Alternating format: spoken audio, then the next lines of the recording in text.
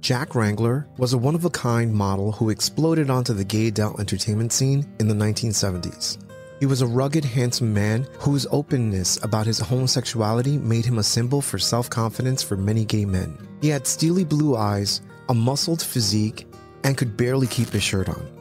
What started out as a gig go go dancing in Hollywood led him to a life in the entertainment industry, both in front and behind the camera for both gay and straight porn companies, and also a life with many surprising turns. In this episode, we're going to celebrate Jack Wrangler, a 70s gay porn icon turned cabaret producer who was a legend in his time and contributed dearly to the gay porn industry. His stardom coincided with the gay liberation movement, and for some, he became a role model. This is Demystifying Gay Porn. My name is I. Que Grande, and if you watch gay porn, I've definitely helped you get off.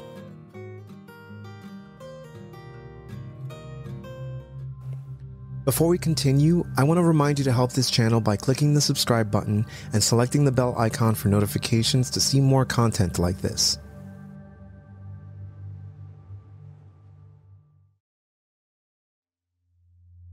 Jack Wrangler was born Jack Stillman on July 11, 1946, in Beverly Hills, California, to Robert Stillman, an independent film and television producer known for his credits on Rawhide and Bonanza, and his mother, Ruth Clark Stillman, who was a top model in New York and then became a dancer in Busby Berkeley musicals.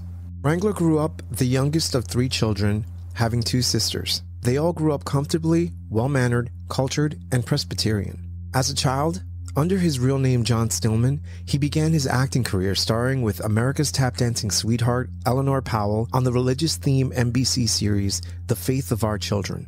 As a young man, he grew up to enjoy the limelight, something that his father didn't like. Wrangler's father wanted a strong, rugged son, something he did not see in his own. He would encourage and push his son into sports, but it just wasn't something Wrangler wanted to do. As for girls, Wrangler tried dating and liked girls, but not enough to hold his attention. You didn't think that there was any, that you were gay or anything. You were just a kid starting to uh, discover himself sexually. My dad, in his wisdom, felt I better go to prep school. From the 8th to the 12th grade, I went to this place called St. George's. And I remember going to a little store, and there was a male magazine. And what did end up holding his attention were newly discovered physique magazines, which upon finding, Wrangler would order and hide away. He would then go on to major in theater in Northwestern University. After college, Wrangler spent seven years of his early career managing the Windmill and Country dinner theaters with the likes of Betty Hutton, Jane Russell, Yvonne De Carlo, Gale Storm, and Sal Mineo. He was a good looking man with talent, but despite that, he found it hard to get work as an actor in Hollywood. He did perform in a play called Special Friends, in which he played a former prostitute who becomes a bad go go dancer in California. He also got small roles in films, but nothing memorable, except maybe for this line from The Bus Is Coming. What in the hell are you doing here, honky?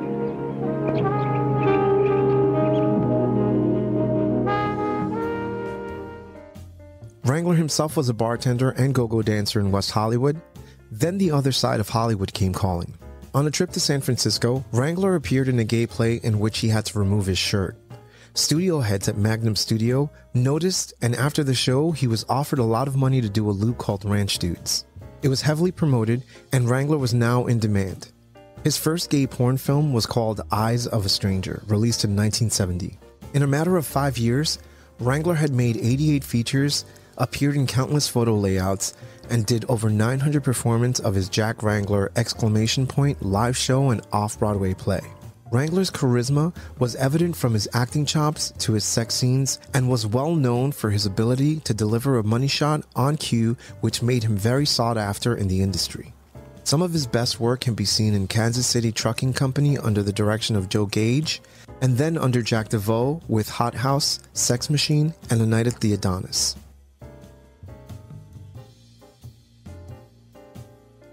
Jack Wrangler was so popular in the mid to late 70s that he began to work in straight porn as well. The gay porn world was still very niche, but the heterosexual porn world was exploding with bigger money and bigger productions. The first time Jack Wrangler ever made love to a woman was in a film called the China Sisters. During an interview in 1985 with Terry Gross of NPR, Wrangler said that the crew knew it was Wrangler's first time with a woman and they cheered him on as he lost his heterosexual virginity. Most of it was funny because um, they were really cheering me on. You know, this is really like, boy, the kid's really coming into his own today. My son, you are a man, and all these people with that had uh, the, the crew's always standing out the set with bagels and things. You know, they're always eating those people and standing there with their bagels and saying, "Yay, Jack!" the China Sisters, which would not fly by any means today, is a film structured around a gay guy who the titular characters make straight by the end of the film.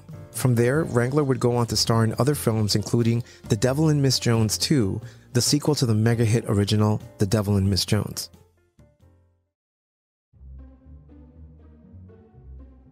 While Wrangler was amassing acclaim for his work in the porn industry, his career in theater began to take shape. He co starred in the play T shirts with playwright and actor Robert Patrick in 1979. In 1985, Wrangler wrote the book for the musical I Love You, Jimmy Valentine, which starred Margaret Whiting, who Wrangler would be involved in a romantic relationship with and later marry. Following that, Wrangler would appear in a play called Soul Survivor, a comedy about a gay man whose lover dies of AIDS. In 1984, Wrangler wrote his autobiography, and by the mid 1980s, Wrangler said goodbye to his adult career after his wife, Margaret Whiting, demanded it, and he appeared in his final porn film, Rising Star.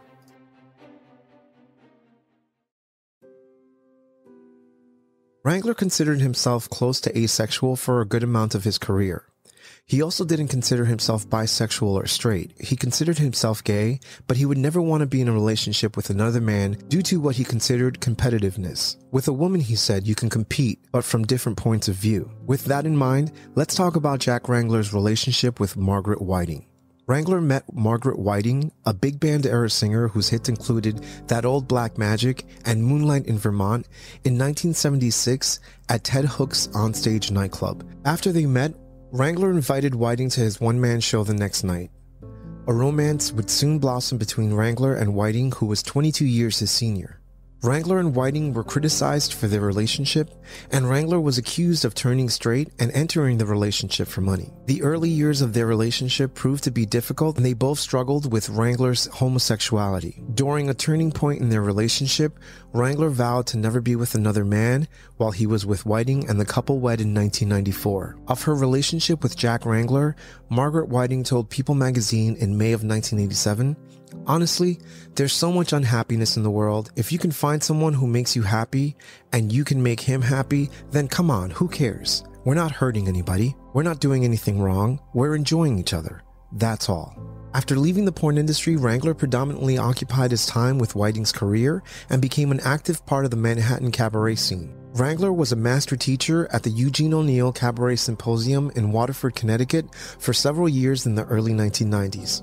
During this period, he and his wife taught young students about the Great American Songbook at the Sundance Festival in association with the Johnny Mercer Foundation.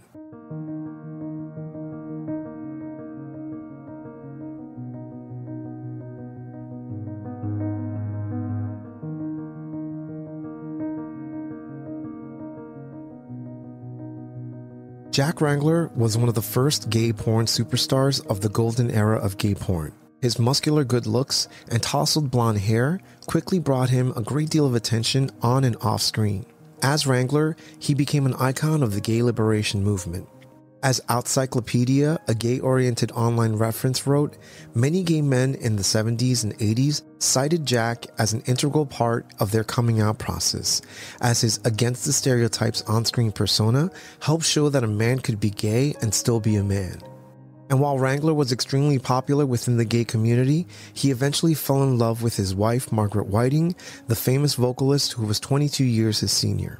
A lifelong smoker, Jack Wrangler died of complications of emphysema after a long illness on April 7, 2009.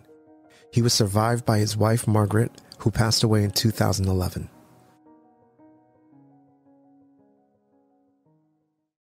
Fun fact Wrangler's father worked on the television show Bonanza, which starred a young Michael Landon. Michael Landon became an object of desire for a young Jack Wrangler, who, if he didn't know he was attracted to men, he knew at that moment. Wrangler would go on to recount that one day his father caught him in a walk in closet um, thinking about Michael Landon. You've been watching Demystifying Gay Porn. I'm your host, I. Que Grande. Demystifying Gay Porn can be found on every podcast directory as well as YouTube. Demystifying Gay Porn is on Twitter, Instagram, TikTok, Telegram. If you like what you're watching and want to be a part of the process, head over to patreon.com backslash demystifying gay porn, where you can help this YouTube channel and I can continue making content like this. Once again, this is Demystifying Gay Porn. My name is I. Que Grande, and if you watch gay porn, I've definitely helped to get off. Cheers.